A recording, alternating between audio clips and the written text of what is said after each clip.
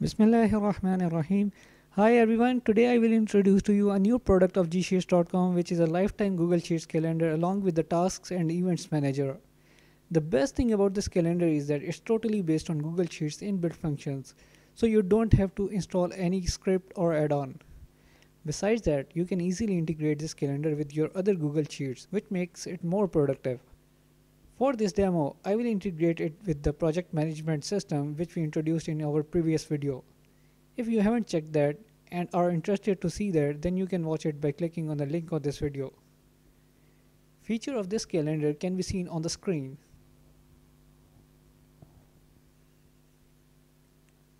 Now coming to the calendar, here is how the calendar looks like.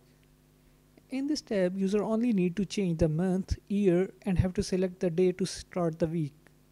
The calendar below will update automatically. Now let me show you function of each field. First user will select the month. In month dropdown, user can see all 12 months along with the option of whole year. If user selects some specific month, then only that month will be displayed in the calendar. And if user selects whole year, then calendar of complete year will be shown. The next field is of year in which user have to select the year for which he wants to see the calendar. And the last field is of the week's starting day. Let me give you an example to show their working. For example, if user want to see the calendar of 2010 whole year, then in the month field he will select the whole year and in the year he will type 2010. As can be seen on the screen, 2010 calendar is updated. Let me give another example. Let's say user wants to see the calendar of month March 2015. Then in the month he will select March and in the year he will type 2015. The selected month can be seen on the screen. Now coming to the last field of the day to start the week. In this field Monday is selected that's why in the calendar the first day of the calendar week is Monday. Now let me change it to Sunday.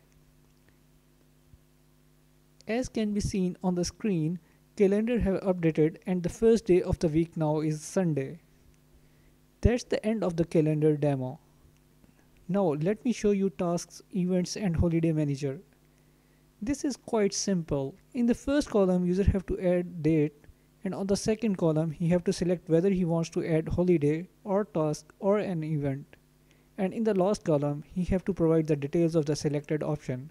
For example, let me add a holiday on 1st January 2020. Based on your country, you can get public holiday list and can add it at once here and it will be shown in the calendar. Next, let me add a task on 14th of November 2020. And at last, let me add an event on 25th of February 2020. As you must have noticed, the system automatically gives yellow color to the holidays, green colors to the tasks, and red color to the events. Now let's see the changes in the calendar. First, let us see the whole year calendar of 2020.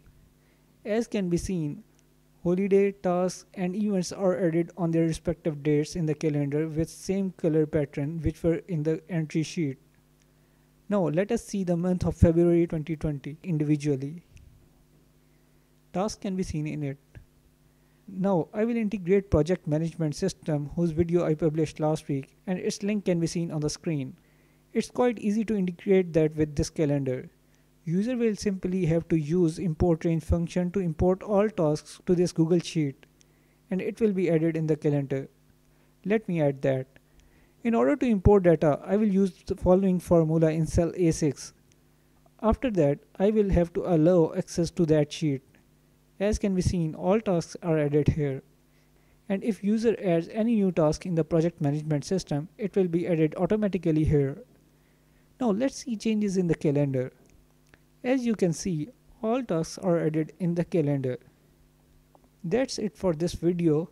I hope you must have liked this calendar and task manager. In case if you want to purchase it or have any other query, then feel free to get in touch with us on our Facebook page or you can email us on info at gsheets.com. Thank you.